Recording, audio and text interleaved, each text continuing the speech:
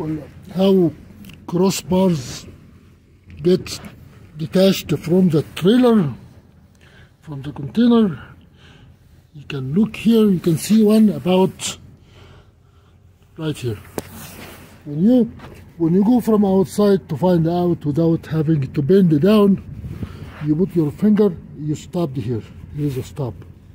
You come here, there is no stop, which means you are losing one here. There is one here. There is one here. So what happened to this one? When you go under to look, you discover that the crossbar is right here.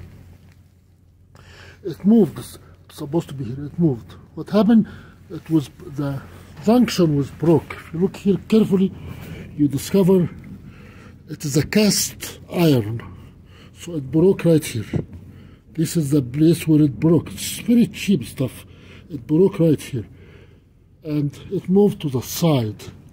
And when you keep driving, when this trailer go on the train, the vibration will make this, this thing bend and fall from the container. From the other side, I can see it.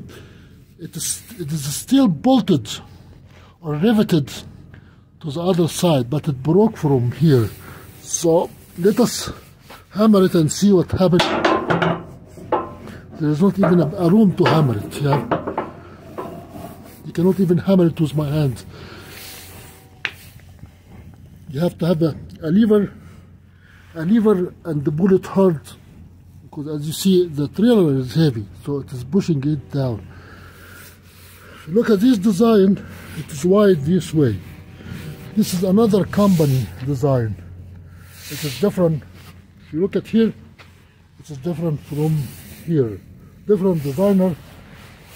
Here the rivets are separated more. Here the rivets are close to each other. But even here, there is a missing rivet. This is another manufacturer. You go under, you discover there is one missing right, right here. This is missing. When you go under, there is a missing crossbar here. Same cheap. Look at here. You can see it is broken.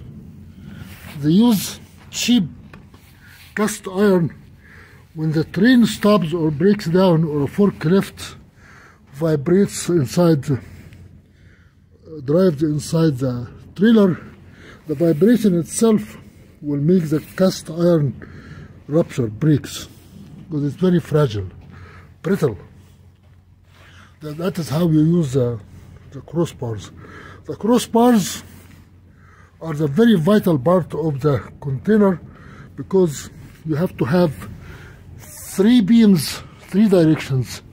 You will have to have the transverse direction, that direction, uh, transverse to the uh, container, and you have to have the longitudinal beams, and you have to have the vertical thickness of the crossbars. So you have a thickness that way, vertical, and you have a transverse that way, and you have longitudinal.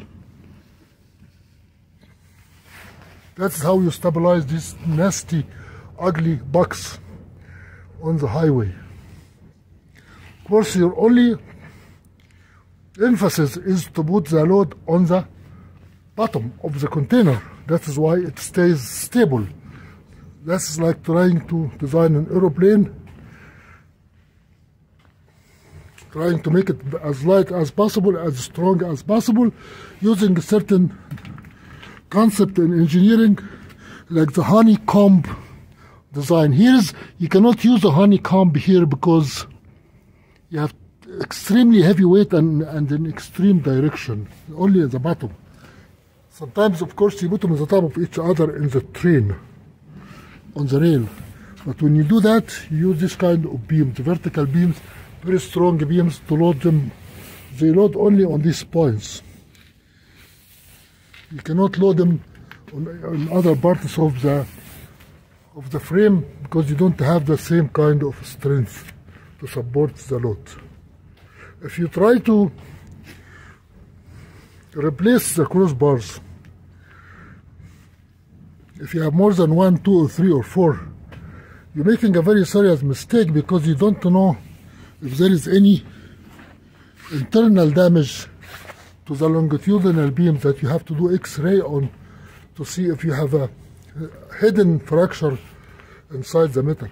Also, also, if the crossbars are missing, you don't know if the frame itself have internal fractures at the joints, at the main joints of the frame. So when the frame, when the container reaches the maximum or the or become old, with this stupid kind of cast iron, you can replace these joints by making make them more durable steel instead of having cast iron that, that are very brittle.